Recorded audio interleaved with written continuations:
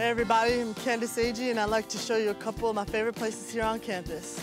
Starting with the Lion Shrine. A very famous place. Everybody has to come here to take their picture. I know it's the first place I came when I got on campus on my official visit. Everybody likes to come and get their picture taken. Like these two. Come on. And I'm gonna take it. One, two, three. Nice. Now I want to show you guys my other favorite place, right over here. This is Rec Hall. Some people don't know this, but this was the original home of the Lady Lions before we moved over to the Bryce Jordan Center. Tons of great basketball players have blessed this court, and now it just happens to be the home of the Nittany Lion volleyball players.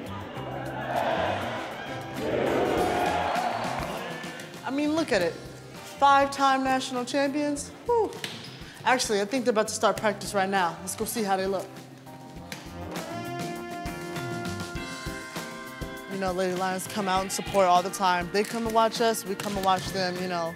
We got that whole one team, one love going on, you know. Little did you know, I was a two-sport phenom back at Silverado, and I did mess with volleyball. I bet I still got a mean serve, too. Don't tell my coach, though. Ooh, that's how you do it.